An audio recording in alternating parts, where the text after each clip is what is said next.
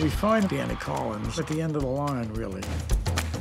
Danny is a big famous musician, some cross between Neil Diamond and Barry Manilow and Rod Stewart.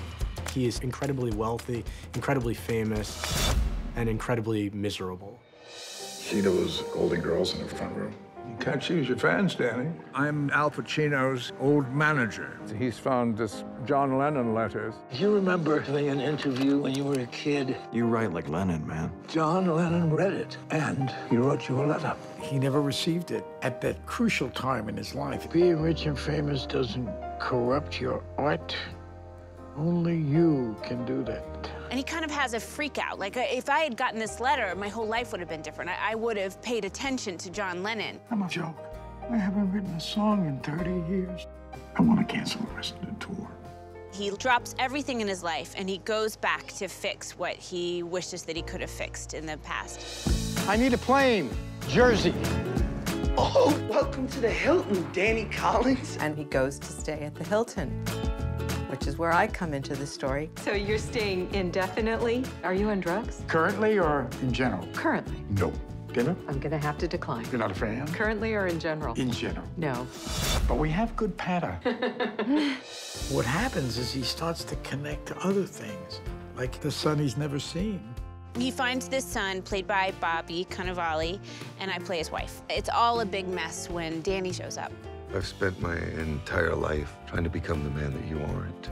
I don't know what to say. I, I don't need you to say anything, man. I just need you to leave.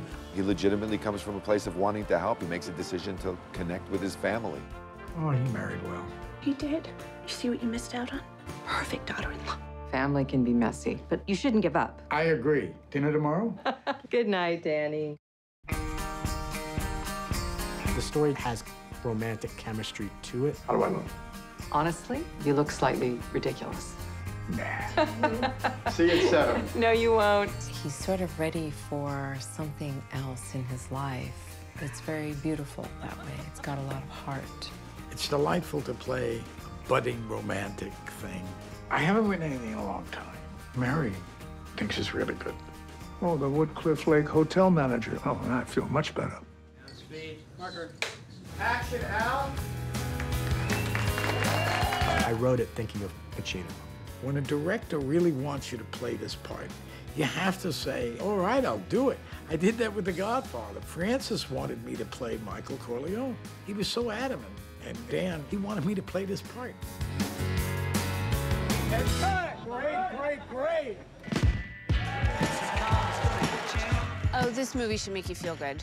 This movie is really about reconnecting with the people that you love and finding yourself. It is absolutely true entertainment and very human and very funny and very touching. You having fun? A little, yeah. I'm very excited. All of our songs in the film are original masters of John Lennon. It provides a beautiful backdrop and really becomes a character in the movie. It just touched me. It really moved me.